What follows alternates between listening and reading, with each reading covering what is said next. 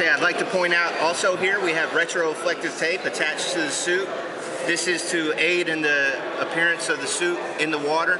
Notice it's up on the shoulder portion, which is the part that's going to be out of the water and visible. Light reflects off this, makes it easier to identify who's in the water. The last thing I'd like to point out is if you turn the suit over on the back, it's a federal requirement to have the name of the vessel attached to the back.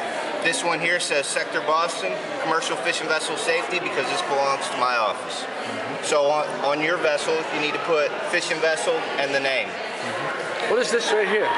This here is an air bladder, and what this does is it provides flotation. The suit has flotation already in the rubber. This adds more flotation to go behind the head. The way this works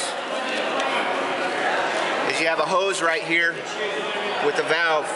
So you put that to your lips and you blow it up and it provides flotation right behind your head and shoulders. Keeps you above water. Fantastic. All right, great. Is, are we done with this? What is this thing here? Do we get? To... Uh, that's a mirror as well. Okay, another mirror. Okay. One, one, other thing I'd like to just point out is that this suit's vital to survival in the water.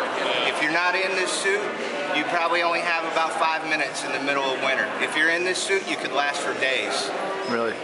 Okay, very important stuff. Now, where, where, do, where do the fishermen get these kind of suits, and, and, and how often do they have to have them inspected? Uh, they're inspected yearly. Whenever we do the fishing vessel inspection, you can uh, take them into professional shops and inspect them as well, mm -hmm. and they're available at all commercial marine stores. Okay, I'm just going to go back over one more time for, for just, to, just to drive home the point.